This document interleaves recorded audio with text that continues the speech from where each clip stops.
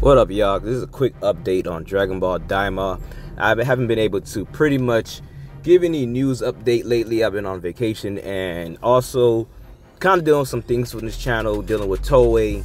One of my videos, I gave you guys an update on the leaked images of the character Glorio and kind of got a copyright strike from Toei about this. So kind of been in dispute with this and just pretty much just being a little bit more careful with what we're presenting on the channel even though the stuff was in fair use. And you know it kind of gets a little tricky when you're dealing with these you know companies and stuff. So i'm still trying to figure that out and get that situated.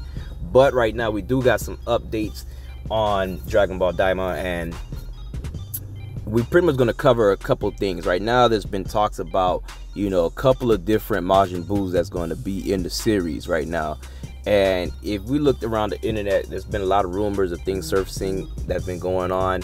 And we got some things like there's going to be multiple Majin Buus, but pretty much kind of like failed experiments versions of these characters and probably may not be as strong as Majin Buu, but we're definitely going to get that. Now, credits to some of this information through Geekdom 101.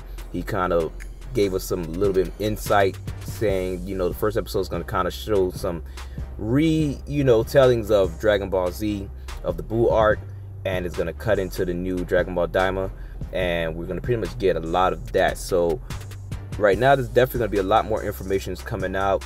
You know, we got this new series coming out in October. We don't have the exact official release date yet, but sometime in October it's gonna be coming out.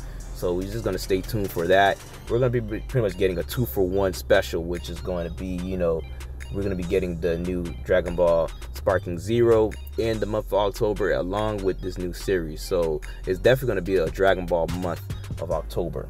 So that should be fun. Um, definitely we're getting, you know, new characters. There's a new female character. They kind of showed her in the trailer as well, who was kind of, you know, teased as one of the main villains of the, you know, show. But like I said, we still don't know the exact main villain. Like I said, they're keeping everything secret and a lot of information is coming out. So just stay tuned. This is just a quick update on what's been going on and kind of like with the channel and kind of the news. We got a lot more videos coming. So just stay tuned.